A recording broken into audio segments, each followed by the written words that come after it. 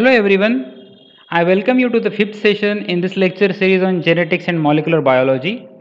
Up to this session, we have covered structure of nucleotides. We have discussed about chromosomes, nucleosomes. We have discussed uh, histone proteins as well as non-histone proteins and their interaction with DNA. Okay, so uh, we have enough information to start a new topic in this lecture series. I am Dr. Yogesh Pavade. We have started this channel to share content related to clinical biochemistry, laboratory medicine and metabolic medicine. If you really like the content, you can subscribe to the channel and press the bell button so that you get all notifications related to upcoming videos to be shared in this lecture series. This session is also to be covered under BI 7.1 where we are dealing with structure and functions of DNA and RNA and the cell cycle. This particular session we are going to deal with structure of DNA. Coming to the specific learning objectives, the specific learning objectives are at the end of the session, phase 1 MBBS student shall be able to describe structure of DNA. Coming to the structure of DNA, first of all we'll see the primary structure of DNA. Here the chromosomal DNA consists of very long DNA molecule. We have seen that each chromosome is basically a very long DNA molecule supercoiled on itself and giving a structure of chromosome. Its molecular weight is 1.6 into 10 to the power 6 to 2 into 10 to the power 9 with approximately 10 to the power 10 deoxyribonucleotides in each molecule of DNA. Normally there are only four different types of deoxyribonucleotides that are found in DNA molecule namely adenine deoxyribonucleotide, thymine deoxyribonucleotide, guanine deoxyribonucleotide and cytosine deoxyribonucleotide. So respectively those four are noted with DA, DT, DG and DC. We have seen the structure of nucleotides and we have seen the possible linkages between two nucleotides. So here in this case of DNA, the nucleotides are linked by covalent 3' to 5' phosphodiester linkage. We have already seen that the carbon atoms in sugar, here it is deoxyribose sugar, the carbon atoms are noted with prime notation. If you can see this linkage, third carbon atom in first nucleotide is linking with fifth carbon atom of second nucleotide. So it is 3 prime to 5 prime. You know third carbon atom is a part of the ring here but fifth carbon is outside the ring and this linkage is having a direction from 3 prime carbon atom of first nucleotide to fifth carbon atom of next nucleotide. So this is the direction of the bond which I have shown here. This need not be confused with polarity of DNA strands. Remember, the direction of linkage is 3 prime to 5 prime. This bond is of covalent variety and it is a phosphodiester linkage. The end bearing of free 5 prime phosphate group. Here in this small uh, linkage we can see this particular fifth carbon atom of deoxyribose sugar is free and the other end bearing a free 3 prime OH or 3 prime phosphate group is the 3 prime end of a DNA strand. Coming to the secondary structure of DNA. The secondary structure was first proposed by Watson and Crick in 1953 and they were awarded Nobel Prize in 1962 along with Maurice Wilkins. So they proposed double stranded helix formed by the two polydeoxyribonucleotide strands around a central axis. The gray line which is shown in the center is the central axis and these are two polydeoxyribonucleotide strands which are wound around the central axis. Two sugar phosphate backbones coiled about a central axis. So this backbone of the DNA molecule is made up of deoxyribose sugar and usually the direction of the DNA molecule is right-handed helix and the deoxyribose sugar being hydrophilic those are on the outer side of the DNA molecule or a DNA helix and the nitrogenous bases being hydrophobic, they are inside the molecule, inside the two strands when they are exposed to the aqueous solution. The phosphodiester bonds in two interwoven strands run in opposite direction. This strand is running from 5 prime end to 3 prime end and this strand is running from 5 prime end to 3 prime end. Now we have seen here the 5 prime group of deoxyribose sugar is free. It is not bound to any other group. That's why this is 5 prime end. And when this is 5 prime end, the opposite end is going to be 3 prime end. And same is the case for this another strand. And these two strands are running opposite to each other and that's why they, they are called as anti-parallel to each other. So this strand has polarity 5 prime to 3 prime and the opposite one has polarity 5 prime to 3 prime. When we discuss about the polarity of DNA strands, first I will tell you do not confuse it with direction of the phosphodiester linkage between two deoxyribose sugars. That is different. Now we are discussing about the polarity of DNA strands. The polarity of the strands will either be 3 prime to 5 prime or 5 prime to 3 prime. What about the strands which has 3 prime to 5 prime polarity? Those strands are called as template strand and the template strand is actually transcribed to give rise to mRNA. So the template strand is actually involved in protein synthesis by getting transcribed to mRNA. It will have the complementary sequence of mRNA. So that is why it is called as template strand.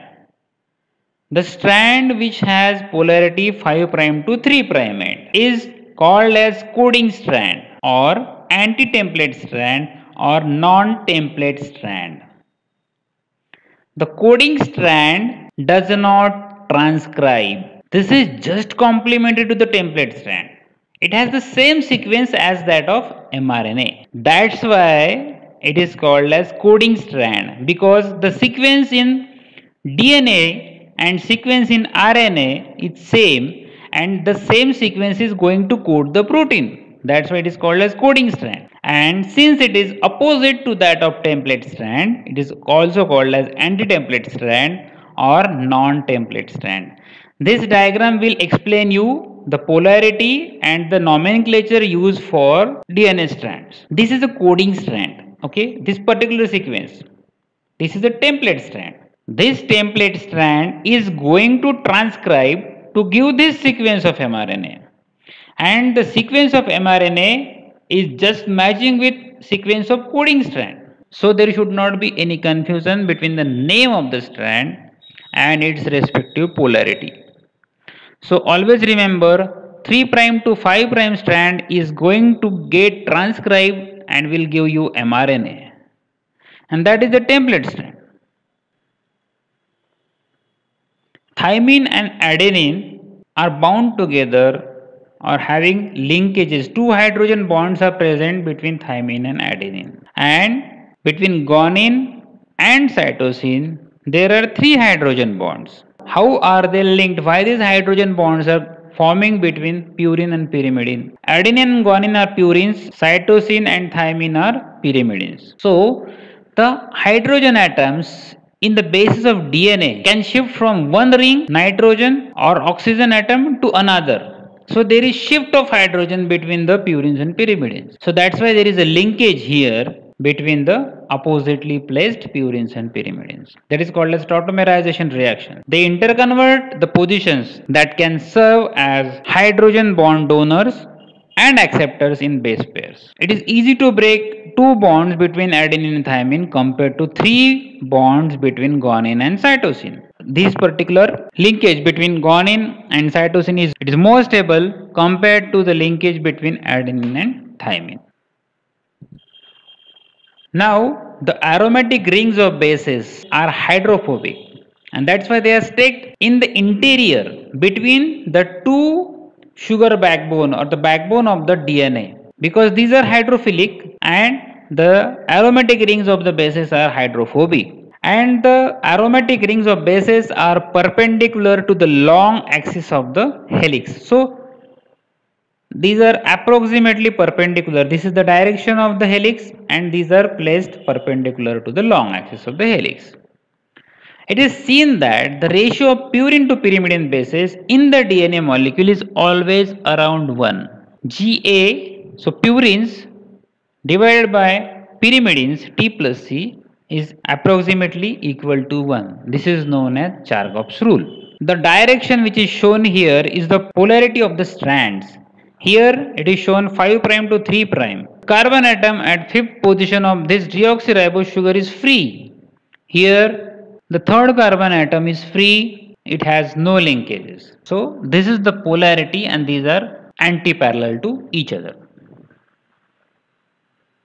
There are formation of major and minor grooves in DNA molecule. The glycosidic bonds between deoxyribose sugar and bases are not diametrically opposite each other. These glycosidic linkages between deoxyribose sugar and bases, this glycosidic linkage and this glycosidic linkage of opposite strands are not diametrically opposite to each other. So it gives rise to unequal width and two grooves are formed around the double helix. The edge that measures more than 180 degree that is called as major groove Similarly, between guanine and cytosine, this is a major groove. And the edge which measures less than 180, it is called as minor groove. Here, similarly for guanine and cytosine, this is the minor groove. But why this is occurring? Why the glycosidic bonds are not placed diametrically opposite? And what is the reason for this groove forming there in DNA molecule? Considering the this DNA as B DNA, the purine and pyrimidine rings are the purines and pyrimidines are 0.34 nanometer apart. The bDNA has 10.5 base pairs per turn. The distance from one complete turn to the next is 3.4 nanometer. This distance is 3.4 nanometer. So there is inequality. Okay, so this imbalance uh, will give rise to unequal width and resulting in formation of major and minor grooves in the DNA molecule. What are the different types of DNA? We have seen the DNA structure, secondary structure, but that secondary structure may get affected because of external factors. So it gives rise to three major types of DNA, namely bDNA, aDNA and zDNA. So one by one we'll see the details of types of DNA. These are nucleotide base pair. The faint blue color is of nucleotide base pair and the dark blue color are the deoxyribose sugars. So that is the backbone and these are the nucleotide bases. The adjacent nucleotides in each chain in bDNA are rotated by 34.6 degrees relative to each other. Double helix completes one turn approximately every 10.4 base pairs. One turn of the double helix spans a distance of 3.4 nanometers. That distance is also called as pitch of the helix. Each base pair therefore increases the length of the double helix by 0.33 nanometers. The diameter of the double helix is 2.37 nanometers. So this diameter is 2.37 nanometers. The conformations of DNA have been determined by X-ray crystallography and by far the most common type of DNA is bDNA. Coming to the next type that is aDNA. When bDNA crystals are dried or when salt content of the crystal is lowered, the long thin bDNA molecule becomes short, stubby and that is called as aDNA. This has become stubby and the distance between complete turns is reduced because the bDNA crystals are dried and the salt content is lowered. Okay, so it will become stubby and short. The pitch of the helix of aDNA is 2.46 nanometers less than bDNA and number of base pairs per turn will increase because you know those are now compactly placed So it is 11. aDNA is not found under physiological conditions. So if it is physiological condition, you will always see bDNA. Now coming to zDNA. zDNA is longer and thinner than bDNA. The most prominent feature of zDNA is, is it is left-handed helix. So B and A are right-handed helix and zDNA is left-handed helix. One complete turn of zDNA has 12 base pairs and the pitch of the double helix is 4.56 nanometer. The pitch is longer so more number of base pairs are accommodated there. The diameter of the double helix is 1.84 nanometers. The major groove in zDNA is no more a groove but a convex surface. Because it has stretched now longer and thinner, the grooves are now converted or lost we can say the major groove will be in the form of a convex surface or may not be seen minor groove will be seen in the form of a deep cleft uh, what are the other reasons for bDNA getting converted into zDNA within the cells most of the DNA is bDNA although regions which are rich in guanine and cytosine base pairs may assume Z conformation. Why? Because G and C rich regions will exert more attraction between G and C. And because of the stability of G and C bond, you know, the twist in the DNA molecule will be more. And it will give DNA molecule a zigzag appearance or the zigzag conformation. And in both A and B DNA, the sugar group and the bases are on opposite sides of the glycosidic bond or maybe we can call it as anti-conformation. Listen what I am talking about. The sugar group and the bases are on the opposite sides of the glycosidic bond. The glycosidic bond is present between sugar and nitrogenous base. And here the sugar group and the bases are on the opposite side of the glycosidic bond that is anti-conformation. However, in the presence of high concentration of cations, some nucleotides will rotate into syn conformation. So, both bases as well as sugar will be on same side of the glycosidic bond. A strikingly different DNA conformation can exist in such condition. The chain zigzags between syn and anti conformation results into Z DNA conformation. Coming to the comparison of types or forms, we have seen three types of DNA, bDNA, aDNA and zDNA. The helix handedness if we compare both B and A are right handed, Z is left handed. The repeating units of base pair here in case of zDNA it is two base pairs are there respectively for B and A it is only one. Base pair per turn in bDNA is 10.4, 11 in case of aDNA because of stubbiness and zDNA because it is longer and thinner. So there are 12 bases per turn. Coming to the rotation per base pair. Coming to the rotation per base pair, it is 34.6 degrees in bDNA, 32.7 degrees in aDNA and 30 degree in case of zDNA. The inclination of base pair to helix axis is much more in case of aDNA. In case of B, it is 1.2, A, it is 19, and in case of zDNA, it is 9. The rise per base pair along helix axis is 0.33 nanometer in case of bDNA. So each base pair is going to add 0.33 nanometer length of DNA. Uh, similarly for aDNA it is 0.23 because it is compact and in case of zDNA it is 0.38 because it is longer and thinner. Coming to the pitch of DNA molecule, so distance between the complete turns. It is 3.40 in case of bDNA, 2.46 in case of aDNA and much more that is 4.56 in case of ZDNA because it is longer and thinner. Coming to the diameter, it is 2.37 nanometers for BDNA, 2.55 for ADNA because it is stubby and uh, shorter, its diameter will increase. So it is 2.55 nanometers. And because ZDNA is thinner, its diameter is going to be less than BDNA, 1.84 nanometers. Coming to the conformations of glycosidic bonds, it is anti in case of B and A DNA. So bases and sugars are on opposite side of the glycosidic linkage.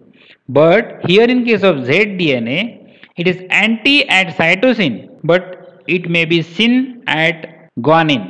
Coming to the differences in major grooves in B, A and Z, it is present both in B and A DNA, but it is non-existent or it is present in the form of a convex shape okay? So the major groove is changed to a convex shape in case of zdna similarly the minor groove is converted into deep cleft in case of zdna it is present both in b and a dna so in this session we have discussed about structure of dna we have discussed the primary structure where we have discussed the linkage between the two deoxyribose sugars. In secondary structure, we have discussed the double uh, double helix structure of DNA. After that, we have discussed various types of DNA, bDNA, aDNA and zDNA and here we complete the comparison of types of DNA. Thank you for watching the video.